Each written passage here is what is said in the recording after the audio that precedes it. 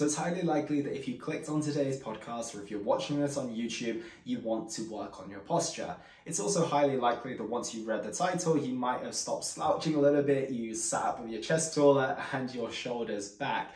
And our posture is incredibly important. I think all of us know that. And we also probably know that we don't do enough to look after it. We find ourselves in many different positions. We maybe don't do as much flexibility and mobility work as we'd like to. And yet we really, really still want to have the impacts and benefits of having good posture. And today I want to go through five solid ways in which you can start to improve your posture and fix some of the challenges that you might be experiencing. So we'll start with number one, which might be contradictory to what you were expecting, which is not to feel like you have to have perfect quote unquote posture all the time. We might think that we need to be in this incredibly upright position for as long as we can hold it. And as much as that is beneficial in some ways, and it might be better to be completely slouched over, the more important thing that we want to be looking at is to be regularly moving our bodies around. Because if you are keeping that really super upright position, that is actually quite exhausting. It's quite demanding from an energy standpoint compared to slouching over, which is quite often the reason that we do it. And therefore, if you're doing your absolute best to hold your position super, super upright for like the first two hours of the day, and you've got eight hours sat at your desk, it's highly likely that you're going to struggle for the remaining six, and you're probably going to be in an even more slouch position than when you started.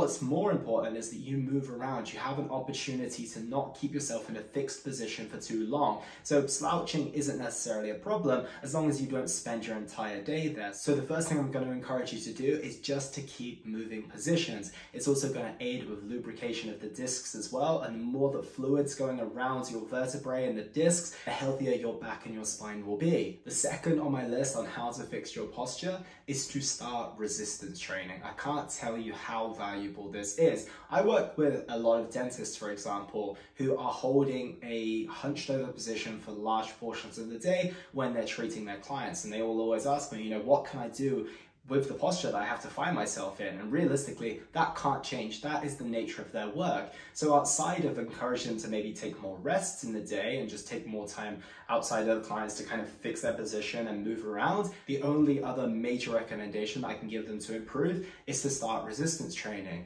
If you have a super strong back from the deadlifts you're doing, the rowing movements you're doing, and just overall adding strength through compound movements, you're going to be a lot more able and capable capable of navigating the day-to-day -day tasks. So picking up whatever from the floor is going to be less demanding. Holding over that hunched position is going to be less demanding. And although it might seem counterintuitive because most people say, well, you know, being in that position all day is the thing that puts me in pain and now I'm going to put even more pain through my back, it's actually going to be the thing that's going to help because it is going to strengthen. So as long as you're mindful about the amount of volume you place through that muscle group, your technique as well, and of course your recovery capabilities, you will benefit massively. Getting a strong back is going to be a massive key and solution to a lot of the pain you're potentially experiencing and navigating the daily tasks with a lot more ease. Number three is to recognize the impact that both stress and sleep play on our posture. And I met a very good mattress saleswoman some years ago who told me that we spend a third of our lives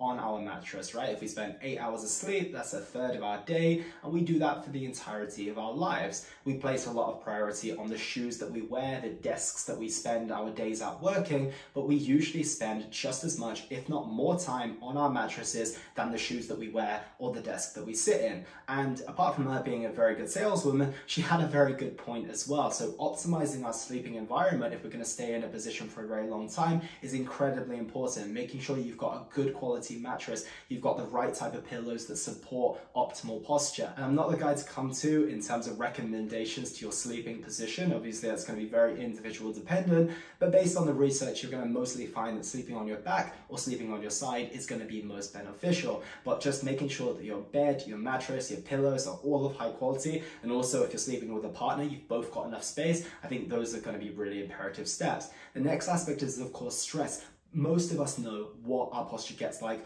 when we're stressed or anxious, or we've seen other people, right? We get hunched over, we kind of protect ourselves almost, right? It's quite a normal thing to see us do. And if we're very stressed for long periods of time, we might find ourselves in this position and we might find ourselves being a way more hunched over than usual, or even just doing unusual things with our posture. We might even be a little bit more depressed, for example, and we might be a little bit lazier with the way that we are holding ourselves and holding our body. And our posture says a lot about our state and our confidence and our feeling about ourselves as well. So it's really important to remember the impact of that. And if you're feeling a little bit low, a little bit more consciousness around your posture could be helpful. Number four is going to be to incorporate some regular mobility and flexibility work.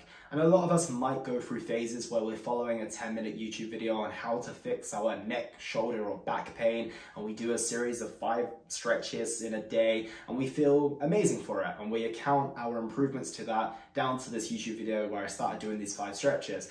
And although they can be super beneficial, I don't think that they're gonna necessarily solve all of our challenges. I think a lot of the factors I've just mentioned will contribute. However, they can also be helpful, but I don't want them to be everything that you do because I think we place a little bit too much importance on those sometimes. However, what this really is all about is the fact that most of us are walking around in suboptimal positions.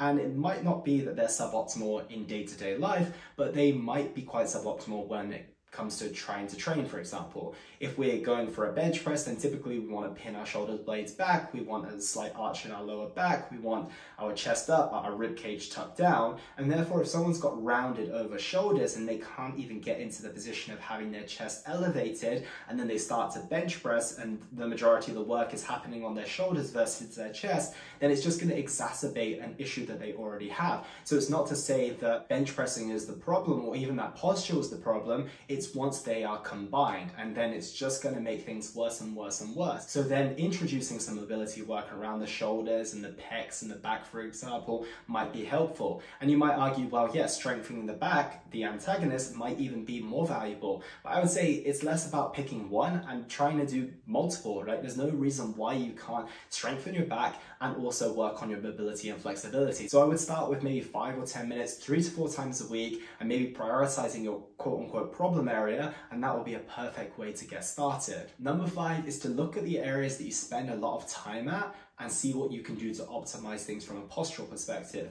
Most of us spend a lot of time at a desk. And maybe during the pandemic, we weren't prepared to have a home office and therefore we reverted to using our kitchen table or just a random desk that we had in our house. But now it's been two, three years, and we're still in that same position. We're still in that chair that's not really suited for that desk. That desk is still not quite at the height that it would be to have an optimal position for my shoulders or my back, for example. So it would be worth looking into that, and especially if you're going to continue to work from home and to create more of an ergonomic environment for you to work in. The same goes for where you chill out, maybe. You know, maybe you've got really super old sofa where you sank in and you're holding your position for a long time, you can never really get comfortable, and this is something to look at as well. Any place that you spend a significant amount of time, whether it's to relax, whether it's to work, is going to be important to look at to see if you can optimize it from a postural standpoint, and then that's going to make a difference later down the line. And also on that note, if there's not much you can do to change those environments, just make sure that you're using the earlier tip of getting up and moving around regularly, or just changing your position, right? A lot of people say, well, I can't change my desk at work, and I also can't leave my desk during the day. So just try and shift the weight from one side to another. Try stand up just to have a little stretch, a little bit move around, and then sit back down again, because that will reset your position, that will reset your posture, and it's always more beneficial to move around than to hold yourself in fixed positions, no matter what they look like for long periods on end. So I hope that helps team. Any questions, let me know. Otherwise, have an amazing week ahead. I hope that you are on your way to some slightly better posture and I look forward to speaking with you all very, very soon.